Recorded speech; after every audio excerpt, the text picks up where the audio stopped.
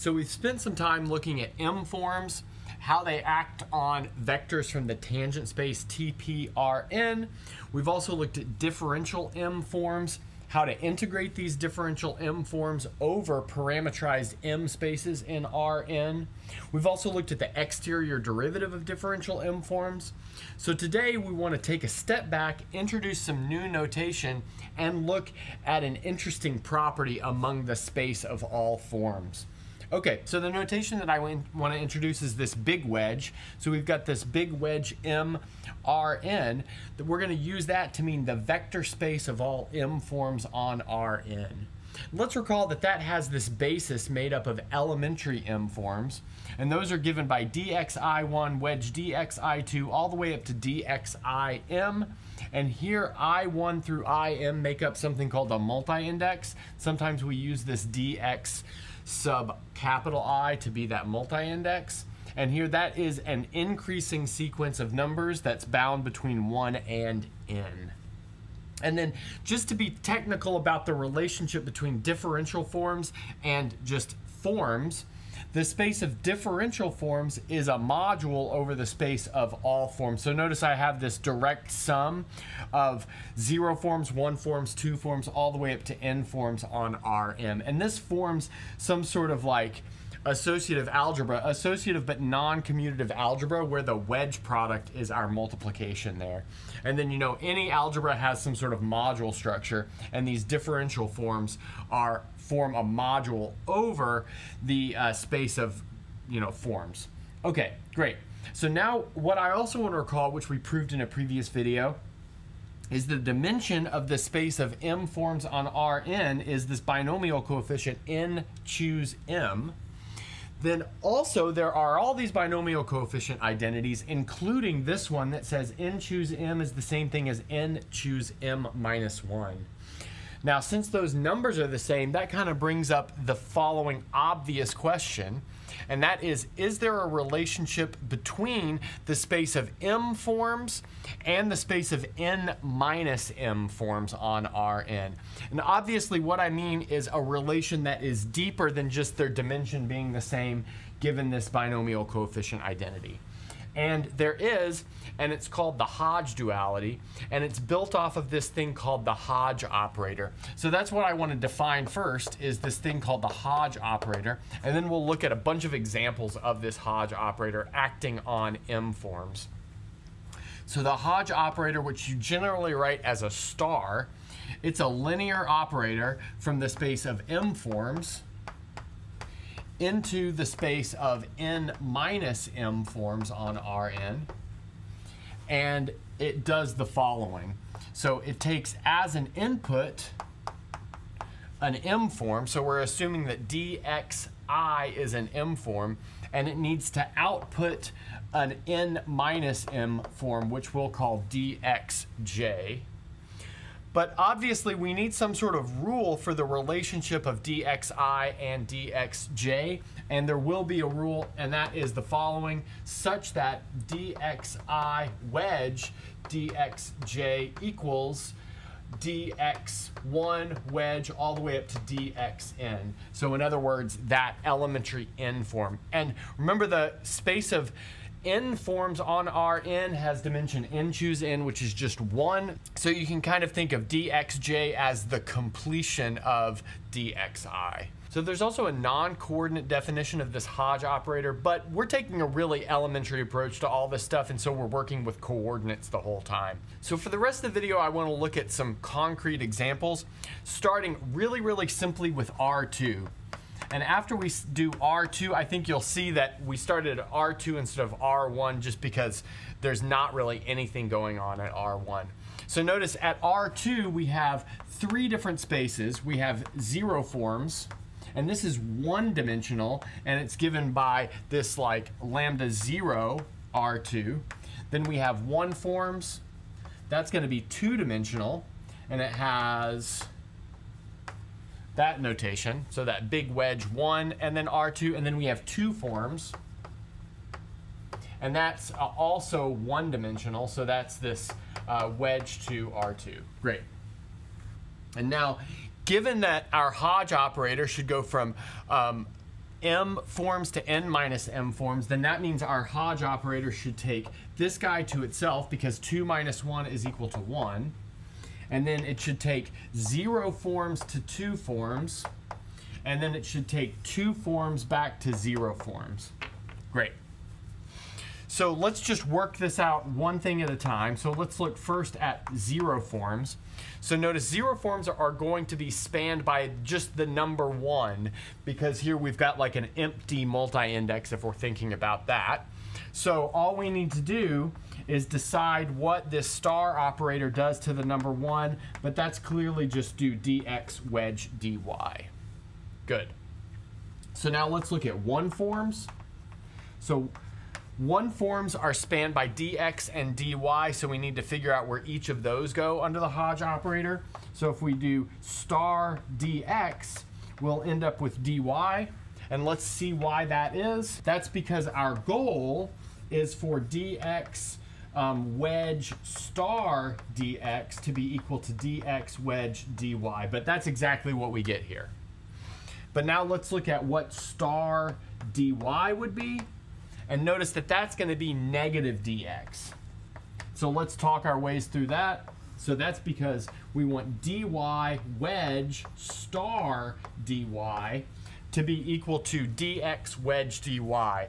But in order for that to be true, because of the anti-commutativity, we need to put a minus dx there.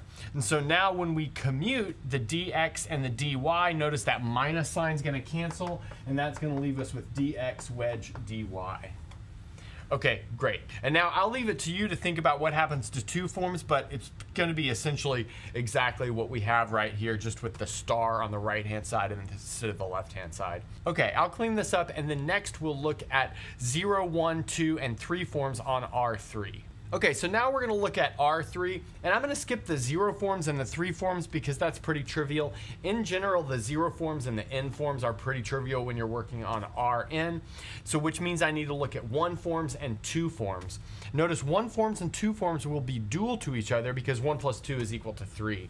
So what we want to do is look at the action of this Hodge operator on one forms on R3. Notice those are going to give us two forms on R3.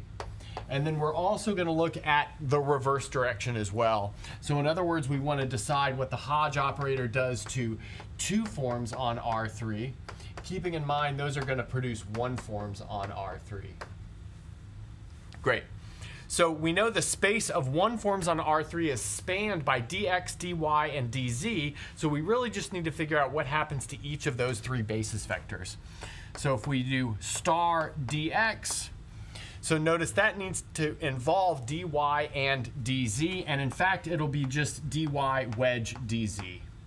Because now notice if we do dx wedge dy wedge dz, we get exactly what we want. So let's maybe remind ourselves of our goal for all of these, and that's the following. If we do omega, which is an m form, and then wedge it with star omega, we should be getting dx wedge dy wedge dz.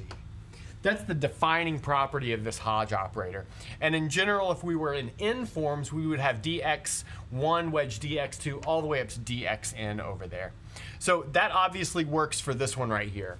Now let's look at star dy.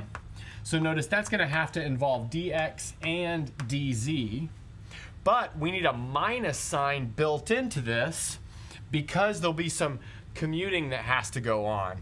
So let's go ahead and point that out. That's because if we take dy wedge dx wedge dz, and we put this in alphabetical order, we have to pick up a minus sign because we move this dx past this dy. So we'll get minus dx wedge dy wedge dz. So our Hodge operator has to include a minus sign to counteract this minus sign from the commutativity. So now let's look at the last one form. So we'll look at star dz, and in this case, this will be just dx wedge dy. And that's because if we take dz and wedge it into dx with dy, dz is going to commute past two things, which is going to pick up a negative 1 squared. So this is going to be negative 1 squared dx wedge dy wedge dz. But since negative 1 squared is 1, we don't have an extra minus sign, so it all works out. Okay, so now let's look on the other side if we do the Hodge operator on a 2 form to get a 1 form. So maybe the first 2 form we'll look at is dx wedge dy, and notice this will be just dz. So that's pretty clear cut because everything is like in alphabetical order. Now next, let's do the Hodge operator on dx wedge dz, and notice that this will be minus dy. And that's because of essentially the same thing that we noticed right here. Notice that if we take dx wedge dz wedge dy, we'll have to pick up a minus sign when we commute this dy into alphabetical order. So we'll pick up a minus sign here, and then we have dx wedge dy wedge dz. But now to counteract that minus sign that we get um, from the commutativity, we'll put a minus sign into the output of the Hodge operator there. Okay, great. And then maybe finally we have the Hodge operator onto dy wedge dz, and this will be equal to dx. And again, kind of for the same reason as we saw down here, there'll be two things that dx passes through, so we'll pick up a negative one squared, which is a positive one, so we don't need to worry about like fixing the sign here. Okay, so now I'm gonna go ahead and clean up the board and we're gonna do like a little bigger example to finish it off. We wanna finish this video off looking at the Hodge duality of two forms on R5 and three forms on R5. So let's just recall that our star operator is defined in the following way.